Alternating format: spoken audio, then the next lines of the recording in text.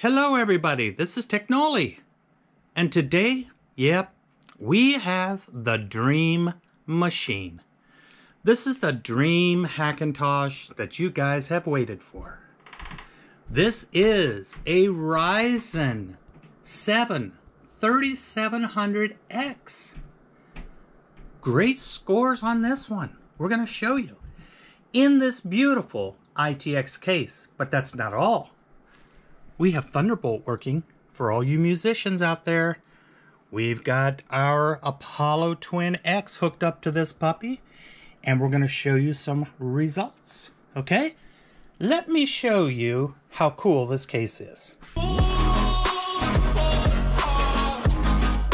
All right, guys, here it is. Now, I want to show you, first of all, that we have onboard Bluetooth and Wi-Fi working okay, built onto the motherboard. Now watch this. You can just pull this apart.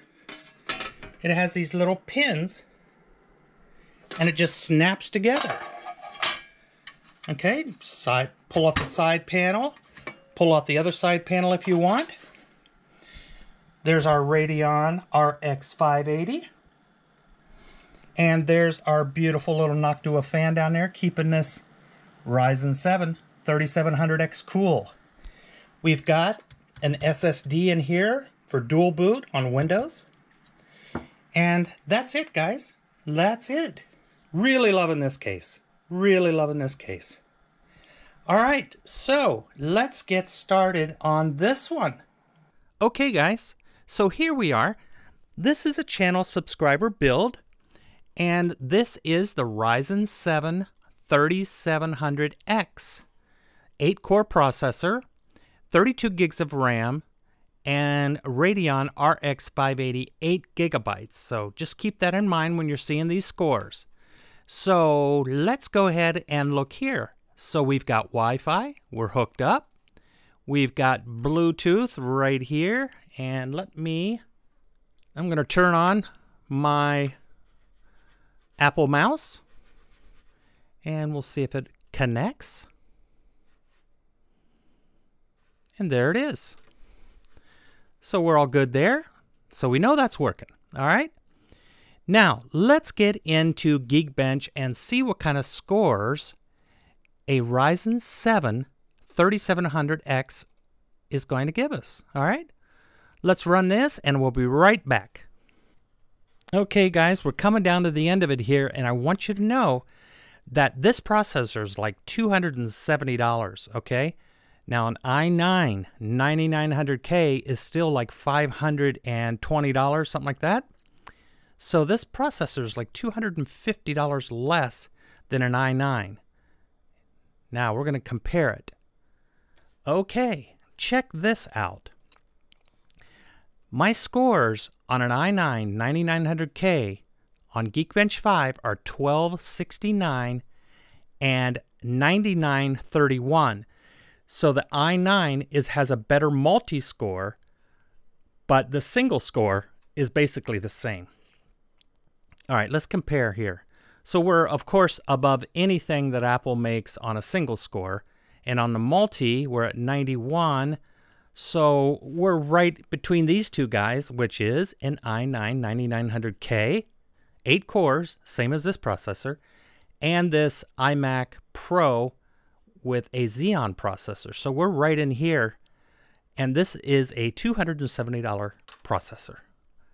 Very impressive. Very, very, very impressive. Let's go ahead and get it out of here, and let's go over to Cinebench. All right, let's run it and see how it does. We're doing amazing right here, guys. This is really fast. And you've seen enough of these benchmarks on my videos to know this is very quick, very quick. Uh, the score on the i9 9900K was 4728. Okay, was the Cinebench score. So 4728. Let's see what we come up on this one. 4876. So we're beating an i9 9900K that I've tested myself. So this is super impressive. This is a Ryzen 7 3700X. This is not a Ryzen 9. This is a 3700X. This is awesome stuff.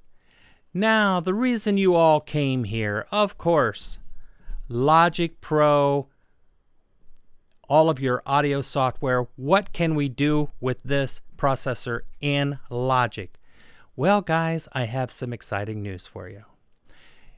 Like it says in the title of this video, we have Thunderbolt working. I've got my Apollo Twin X hooked up to this computer, and we're going to run Logic Pro, and we're going to run Mojave. Well, Waves got back to me and told me the problem with running Waves plugins on what we're trying to do here is Catalina. I couldn't believe it. I was like, haven't they resolved the Catalina issues? No, they haven't completely, obviously. So I'm going to reboot. I'm going to boot up to a drive that I've got hooked up to this computer that has Mojave on it, and I'm going to show you guys some amazing stuff. All right, let's go. Now, guys, I wanted you to see the BIOS on this and show you that we are on the ASRock Phantom Gaming ITX motherboard. This is the X570 with Thunderbolt 3, okay? So we're good to go on this one. We've got Thunderbolt right down here. And we've got it enabled and no security, okay? So let's boot this up. And I'm going to show you that I am booting with this computer. I'm going to select a different hard drive.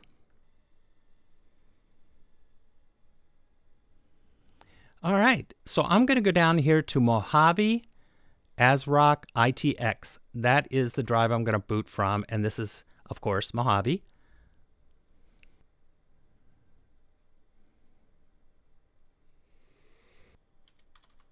All right, let's log in. And let me show you the exciting stuff. You see it connecting to the Apollo? Look at this right here, guys. Isn't this amazing? We can change our frequencies, Everything on this thing works excellent. This is more stable than some of the Intel systems that I've done as far as the Apollo interface working. I mean, it just works great with no distortion at any of these selected frequencies. All right. Now, let's go ahead and launch Waves. And let me show you guys. If you watched my other video about trying to get Waves plugins to work on Catalina, it wouldn't even install. So I'm going to grab this one right here and click Install and Activate. And we'll show you that it is working. Okay, so there you go. Install and activate complete, so we're good there. We'll go out of here. Let's launch Logic Pro X.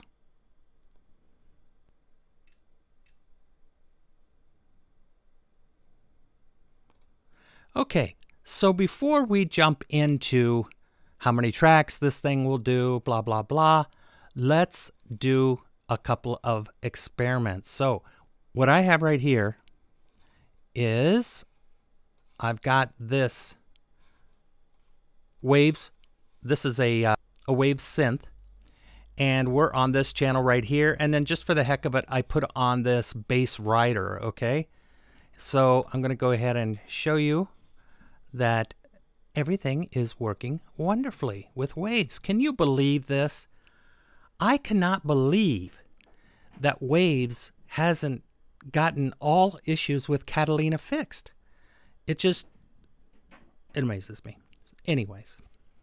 At least they got back to me, and that was wonderful. Okay, so the plugins are working. All right, we can go here, and we can whoops, we can go. We can go here, and we can go down to waves, and here I've got a couple of things hooked up. I just installed that one, And there it is, hooked up, working, blah, blah, blah. All right. Now, if you don't already know, this test is 128 tracks available, okay? And these are MIDI tracks. And they have five plugins on each of the 128 tracks. So what we want to do is, is how many tracks can this processor handle? Now, I'm going to make sure that I'm running at 48. Let's see here. Let's go over here to recording, 24-bit project, and audio, and I'm going to switch this to 48. All right, so there we go. Just to put a little pressure on it. All right, I got 50 tracks lined up here. Let's turn on the load meter so we can see how our performance is on our CPU. There we go. And let's run it. Well, there's 50 tracks, 48K, and we are running, how many buffers are we running on this? Let's check and make sure. Ah, 128. Let's put it at 64. Okay, so let's go back and let's hit it again. Yeah, so 50% with 50 tracks. 50% at 50 tracks. Wow. All right, let's just crank it up to 100. Let's crank it up to 100. Now, you can imagine if you've got a higher end processor, you could do as many tracks as you want. All right, so let's hit it again. All right, so we got 100 tracks and we're running at about 85%. Uh, will it take all 128? Now, the i9 9900K will do for 128 tracks. Let's turn these on and see if it will fly. Back it up and hit it. Okay, we're pegged. The audio is not distorted at all. And it's running it. It is running it. This is amazing. Wow. Okay, guys, that is incredible. But will it handle 96? How many tracks can I record at 96? Well, I'm going to take it back down to 50 because I don't think it'll run any more than 50 tracks at 96. Well, let's check it out. Let's see. Here's 50 right here. So let's break it down to that. There. There's 50 tracks. All right. Let's run over here and let's change our session to 96. There goes the relays on the old Apollo Twin. Processing. All right, let's see if we can get 50 tracks out of this. All right, here we go. We're pegged, but we're holding, and I'm listening in the headphones. Crystal clear no distortion. Unbelievable. Wow. Okay. Can we squeeze a few more out of it? Can we go to 55? Can we get 55 tracks? Let's see. 55 we're holding so far. No distortion. 55 tracks on an on a Ryzen 7 3700X. Let's just take it until it fails. Let's add on another five. We'll go to 60 tracks. And let's see if we get an overload message. Yep, there we go. All right. So the sweet spot is probably 55. Let me just for the heck of it, I'm going to hit it at 57 tracks. 57, holding. Once it gets, yeah, they're right there. Okay, Yeah, once it gets up to about right here, the music changes a little bit and it's too much. So 55 tracks at 96. Well, that's impressive. That is impressive. For a machine, doesn't cost that much money at all. And you can put your little Apollo twin right on top of it. Take it to the studio. Love it. Love it, love it, love it. I hope you're as excited as I am about having a Ryzen system running with Thunderbolt. Um, it truly is amazing. Okay. So let's close out of here. And tell me what you guys think in the comments below. I'm uh, totally impressed with this thing. And uh, it's a lot of fun knowing that we can run Ryzen on this thing. I think that this is just amazing and very exciting. So let me know what you guys think in the comments below. Um, I really appreciate Waves getting back to me and letting me know that, you know, possibility that this might work or that might work. I don't think they really want to tell you what's going to work and what's not. So, um, but that's good for us, right? All right. So, guys, let me know what you think. Now, I did test this with a monitor and it did not work. Okay. So, Thunderbolt did not work with a monitor. So, just so you know. All right. We'll see you guys on the next video.